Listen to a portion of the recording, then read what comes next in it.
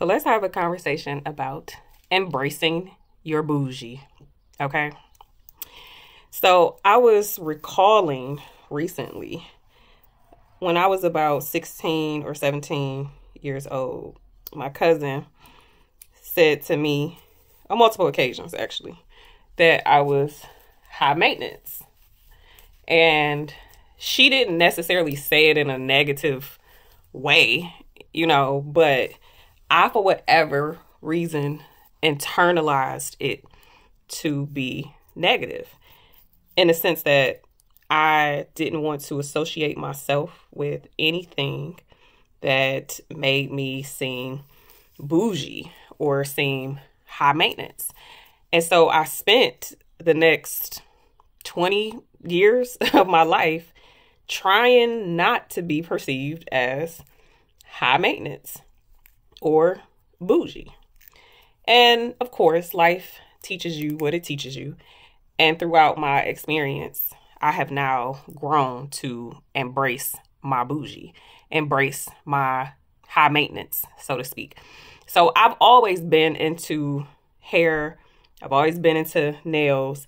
I didn't really start getting into makeup until I was in college. And I still didn't really know what I was doing because that was pre YouTube days to where you could just get on YouTube and watch a bunch of beauty influencers and know which products to go and get. So I really didn't start getting into makeup like for real, for real until I was like real grown. And I always have cared about keeping myself up. You know, I always have lived by the philosophy that when you look good, you feel good. And I just wholeheartedly believe that to be true. So, you know, I learned how to do my own hair. I learned how to do my own nails. And when I say that, I'm talking about when I was younger, like 16, 17 years old, because my mother couldn't afford to send me to the salon every week or every other week. So I had to be creative. And so I learned to do my own hair, my own nails because I just really always wanted to feel beautiful. So back to this whole high maintenance thing and how I took it to mean something negative, even though my cousin did not mean it in that way. I spent the next 20 years trying to hide myself, trying to hide my love for looking good and my love for luxury things. And um, it reflected a lot in my relationships because then I didn't want to choose a man based off of what he had or what he could do for me because I felt that to be, you know, a negative thing. And so I kind of moved into the space of like, oh, you know, well, we can build together and we can, you know, do this thing together, right? Until I tried that, you know, probably a few times. And you know what I learned is that men, they don't respect a woman that they have to like build with. You know what I'm saying? Like a man's nature is to protect and provide. A man wants to provide for you. And if he cannot provide for you, he's mean. He's not even a, a nice person to you because you are a constant reminder to him of what he doesn't have and what he cannot do for you. So instead of it being like, oh, yeah, we can build together, it's really like, you know what? I actually really hate you or I really don't like you because you require this and I can't give this to you. So, yeah, I really don't like you that much. And so they be mean and shit. So, in this season of my life, I have gone back to that person that I was, which is, I mean, if you want to call it high maintenance, then call it high maintenance or bougie or whatever. I just call it having standards and not lowering those standards just because you have come across some people who can't meet those standards. Now I just understand that if people can't meet your standards, and, and I'm saying meet your standards in that way because I don't necessarily believe in somebody meeting your standards. I think that there are people who are just on your frequency and people who are not on your frequency and that you should only really associate yourself especially being in a relationship or partnership with somebody who is also on your frequency you know so the man that's on my frequency is a man who also likes to take care of himself and he wants to provide for his woman in particular. He wants to provide for me. And of course, I work, I make my own money, I do, you know, all of those things because of how I like to live my life, you know. And so you do have to find somebody, not find somebody, just attract somebody who is on that same frequency and that energy level that you are on, or else you're going to be constantly trying to bring this person up to your frequency. And that's exhausting because you don't have time to do that. You know, it's better and easier to just find somebody who is already on your frequency or track somebody who's already on your frequency. Your frequency. Why am I having a hard time saying frequency? What is going on with me? Um, than trying to convince somebody that they should be on your frequency because, or else they're going to try to bring you down to their frequency or their level. If they aren't high maintenance or they don't, you know, believe in living a life of freedom and luxury, they're going to try to convince you that you shouldn't either, that you shouldn't like that. And I remember when I bought my first um, Infiniti, I was so shy and embarrassed. I didn't even want anybody to see my car. I mean, I remember saying to my sister, like, oh, yeah, I'm like, it's not, you know, a big deal. Like, it's just low key, low key luxury. Like I intentionally went out and got a car that I thought or felt was like low key, you know, luxury, like not a, a big deal, right? like, you know, like I knew that I didn't want a a Benz because I just always have felt like Benz is just like so kind of flashy, you know what I'm saying? And if you're not leaving the lot with the best Benz, like the best the most luxurious version of a Benz, then you just getting a Benz because you think that's what it you think that that's what luxury symbolizes. Now, don't come for me, my Benz owners. You know what I'm saying? I I still think that the Benz is fly, you know, but you know, if it ain't the G wagon or what's some of the other model, I'm not all that familiar with the Benz models, you know. But if it ain't like no two two door, you know, coupe with the drop top or it's like you kind of just want people to think you got money. And I and I like don't want people to think I have money. I would just rather have money than for people to think I got money.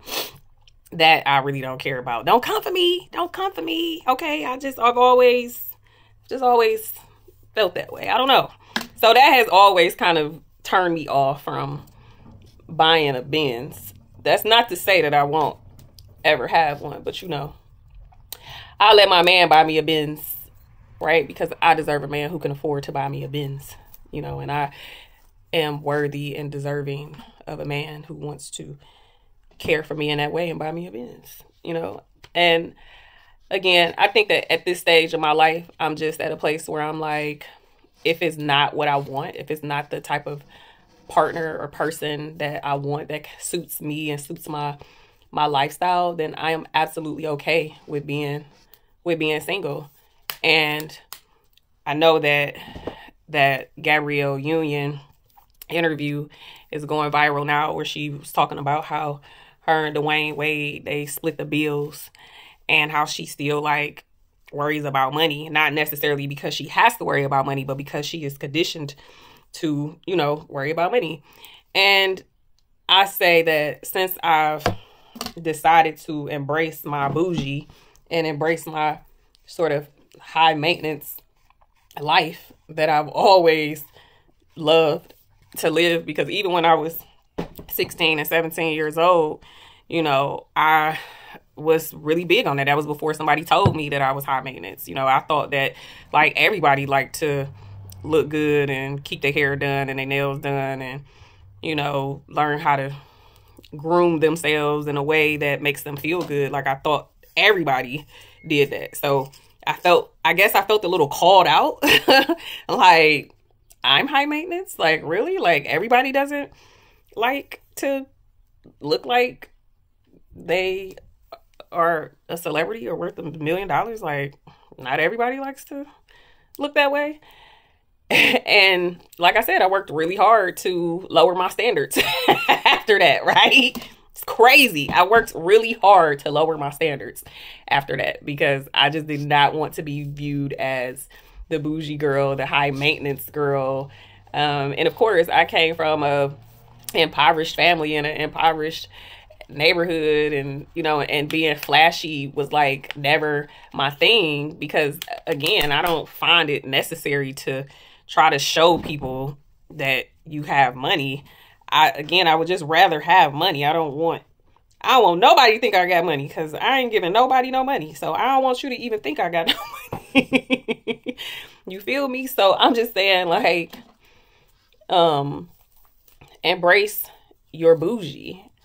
You know, I settled in so many relationships and situationships because I didn't want to be viewed as bougie. But back to Gabrielle Union and the 50 50 thing. I used to, at first, when I was younger, I thought that men should take care of the household and provide for the household. I thought that. And then after I internalized this high maintenance bougie thing, I let that standard slip away from me. And then of course, then I was dating men who who also didn't believe that they should provide you know, and I was like, oh, okay, but you know, we can make it work and we can build together and we can and then I'm like I've experienced those type of men and they are not very nice. You know what I mean? They are not very nice and it's a constant reminder like I said to them that they can't afford you. And so they don't like that. So they'll try to put you down or they'll try to have you lower your standards, you know, to meet their to meet where they are financially or to just to make them feel masculine in some in some way. And so no. Thank God, even though it took me some years, I've outgrown that side of myself to where I'm like, no, I'm embracing my bougie. I'm embracing my high maintenance. I will stay single for however long I have to stay single. you know what I'm saying? Until I attract a partner who believes also in these things around a man being a provider because I want to relax in my feminine. I don't want to be the masculine. I feel like I have been the masculine pretty much my entire life because I didn't know anything different. And so I also witnessed the women around me being in their masculine and not having men who were providing for them. And so I learned that that was normal. And now I'm like, at least in my world, that's not normal for me anymore. Because if I have to pay the bills, then I got to bend you over. And I don't want to be bending my man over. So I'm not paying any of the bills that has to do with the household at all. I mean, I don't even want to pay my bills. I want my money to be the money that I use or we use to, you know, kick it and have fun. And, you know, you still got to pay for travel too. But, you know, I, I probably will pay for some other things. You know, you're going to get spoiled. You're going to get great gifts. You're going to, you know, get me. I'm such an enlightening person. You know, you get to have access to me all the time. And masculine men, that's what they want in their woman. They want a feminine woman. They want a woman to be able to live her soft life so that she could just really just focus on you know, him, right? And I prefer to do that. And I'm always going to make my own money. Understand? I'm going to always make my own money because I like what money gives you. It gives you choices, options, freedom. So I like that. I'm going to always make my own money.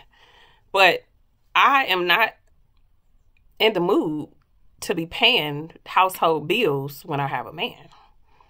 If I'm paying household bills, that means I'm single. So I'm single. I'm very single right now because I'm paying all of my own household bills.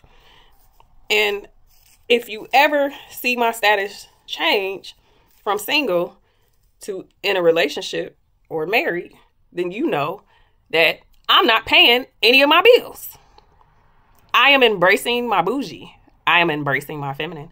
I am embracing the soft life. I am embracing being high maintenance. I'm finally embracing it. And you know what? I love it. I really do. I love it over here. It's so free and so flexible. And I don't have to worry about, as Shera Seven says, Dusties trying to talk to me because then they already know they can't afford me. And I and I like it that way. I, I like it that way, right? So that we just don't get confused about where we stand with one another. By the way, I want to shout out this lady who makes this. Where is the top to this? I want to shout.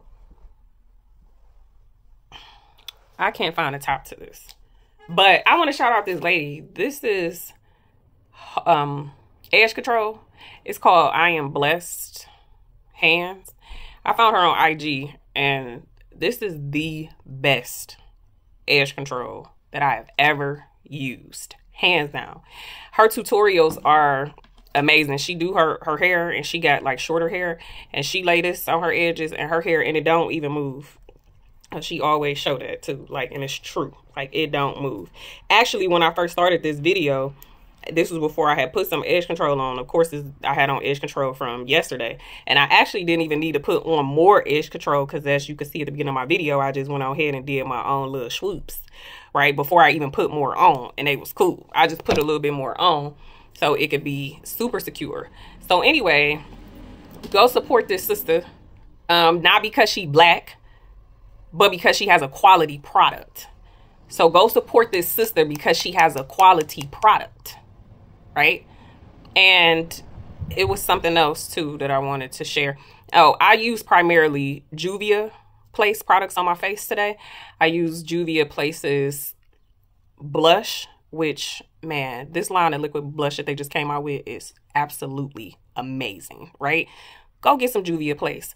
I had ordered three things the P. Louise blush because when I see it, always look like pigmented, the liquid blush. Terrible.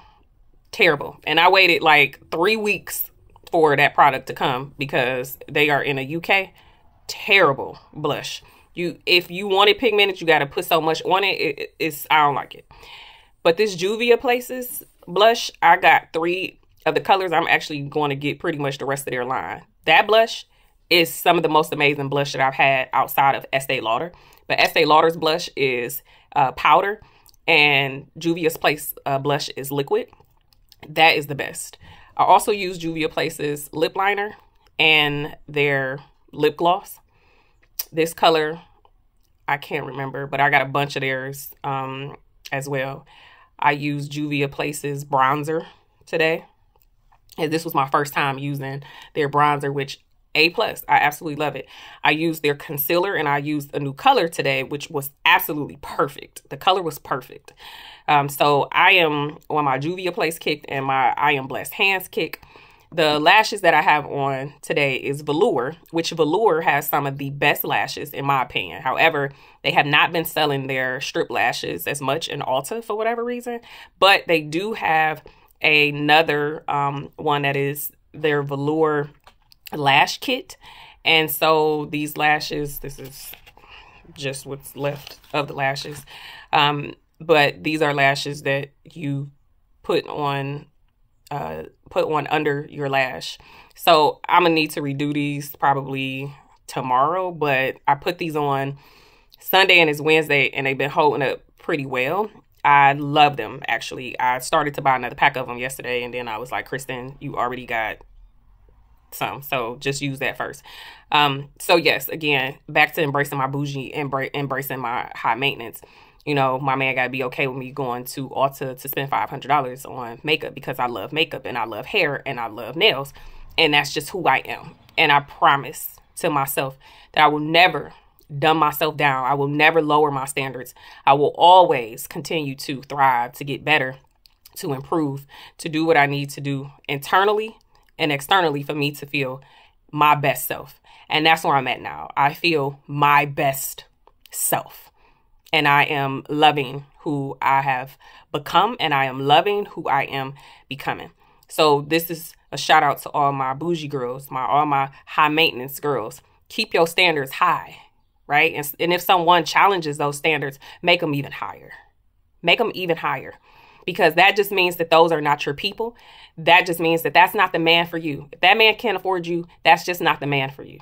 You don't have to backtrack, dumb yourself down, lower your standards to be with this man who can't afford you. And that's okay. Till next time, y'all.